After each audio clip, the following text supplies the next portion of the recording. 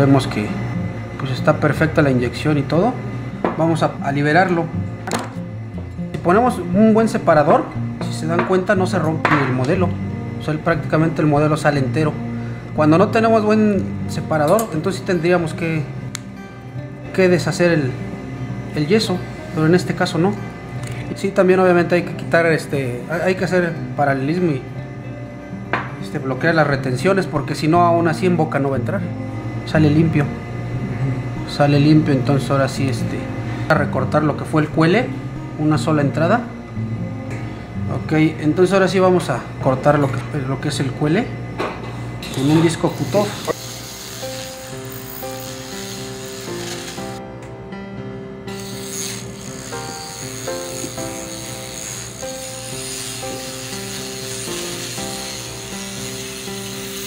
Como pegadito ya ahorita vamos a, a, cortar el excedente pero ya con una, con una piedra.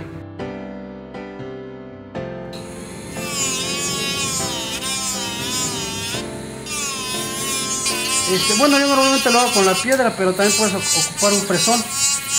Pero ya con la piedra tenemos la ventaja de que va quedando este fino, fin, fina la, o sea que de un solo paso, de una vez la vamos dejando fina para terminado.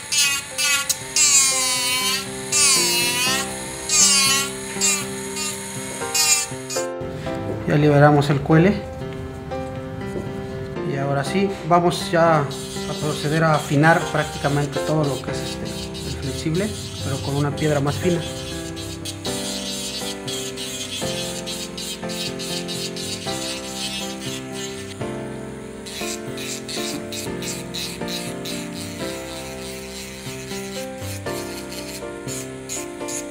ya recortamos prácticamente todo todo el excedente la, la rebaba que haya quedado. Y en ese mismo paso se va afinando lo vamos afinando a baja velocidad. Porque si no nada más lo quemas siempre con el micromotor porque son le puedes bajar la velocidad al mínimo y en el de banco no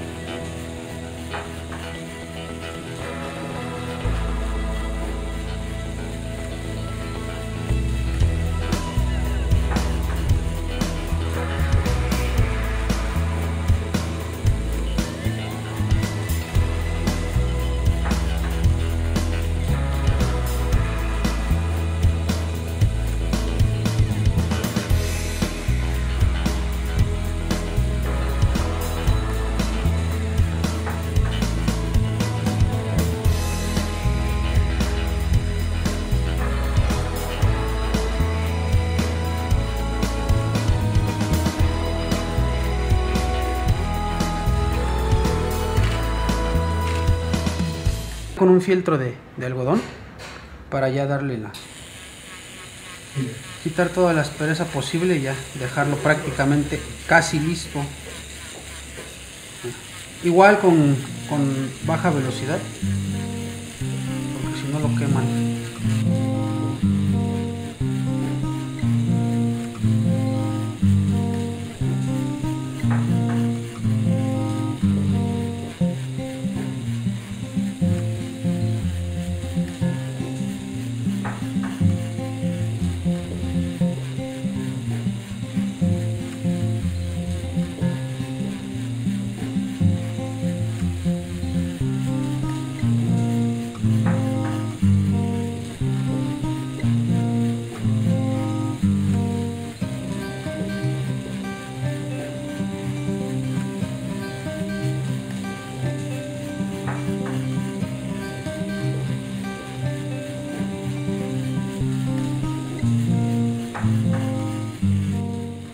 ya nada más revisamos que prácticamente esté sin, sin, asperezas y lista para darle el brillo. Prácticamente ahorita nada más pulimos. Ese fue el pulido y ahorita ya está lista para dar el brillo el brillo final y brillo natural. Entonces ya teniéndolo prácticamente pulido vamos a dar el brillo final este con pura agua con pura agua y un cepillo de, de pelo de cabra con un de banco de que sea de baja.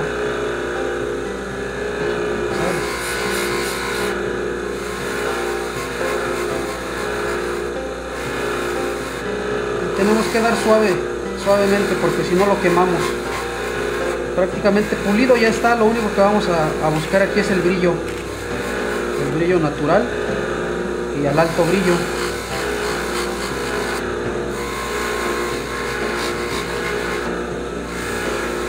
No vamos a necesitar de ninguna pasta, ninguna tierra, ni nada en especial, más que pura agua.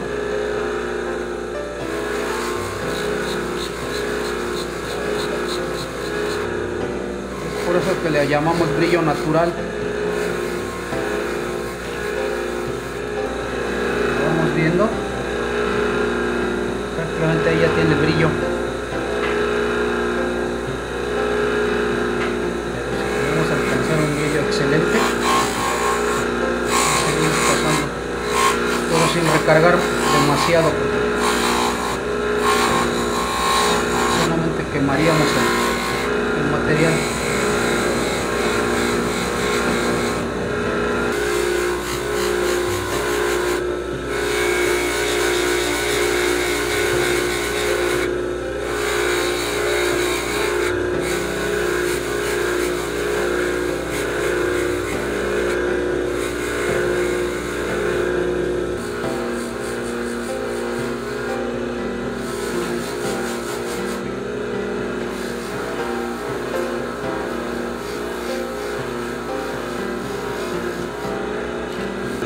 Te das cuenta casi ni lo toco. Nada más acariciándolo. Acariciándolo quitamos el agua y checamos el brillo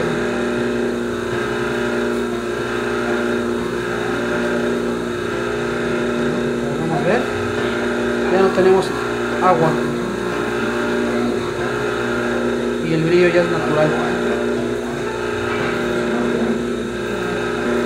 prácticamente lo tenemos listo ya con un brillo natural sin necesidad de ninguna tierra especial ni nada.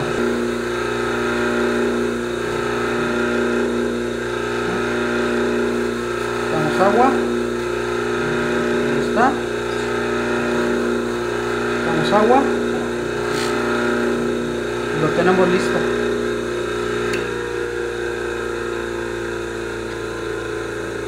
prácticamente ya tenemos un brillo natural ya sin agua como pueden ver no tenemos nada de agua. Y el brillo es natural. No hay agua. Y el brillo sigue siendo natural. Sin necesidad de ninguna pasta o tierra especial